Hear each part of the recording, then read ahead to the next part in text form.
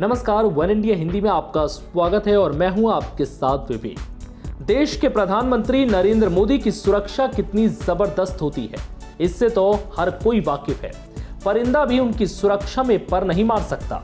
उनकी सिक्योरिटी से लेकर उनके काफिले की कारों तक सबकी खासियत अपने आप में लाजवाब है।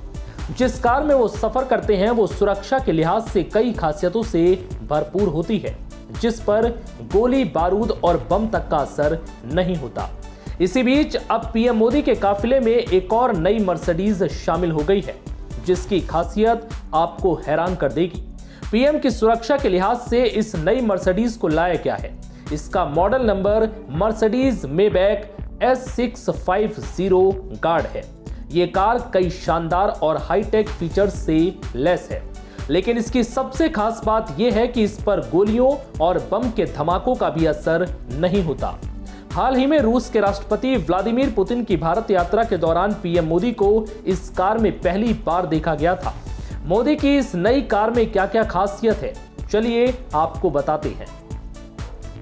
इस कार में high level security, safety, protection दिया गया है।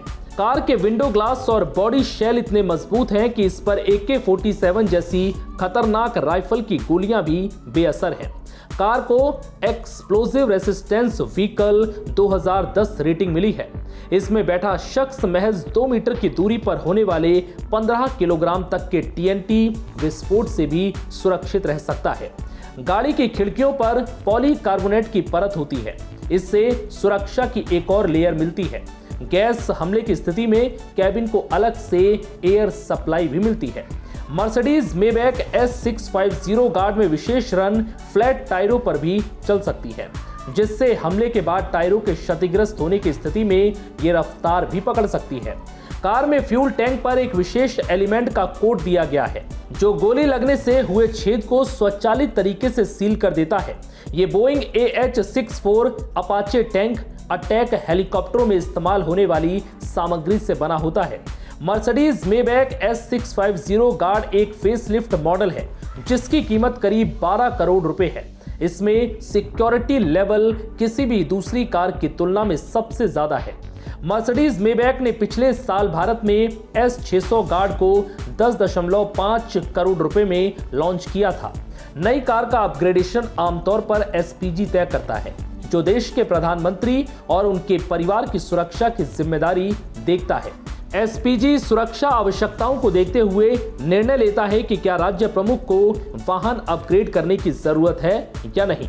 ऐसे में अब पीएम मोदी के काफिले में लगे वाहनों को अपग्रेड किया गया है। Mercedes, Maybach, S six five zero guard को रेंज रोवर, बोग और टोयोटो लैंड क्रूजर से अपग्रेड किया गया है। पीएम मोदी जब गुजरात के मुख्यमंत्री थे तब वो बुलेट प्रूफ महिंद्रा स्कॉर्पियो से सफ़र करते थे। 2014 में प्रधानमंत्री बनने के बाद उन्होंने BMW 7 series high security edition का इस्तेमाल किया। उसके बाद समय समय पर उनकी सुरक्षा को देखते हुए कार अपग्रेड होती रही।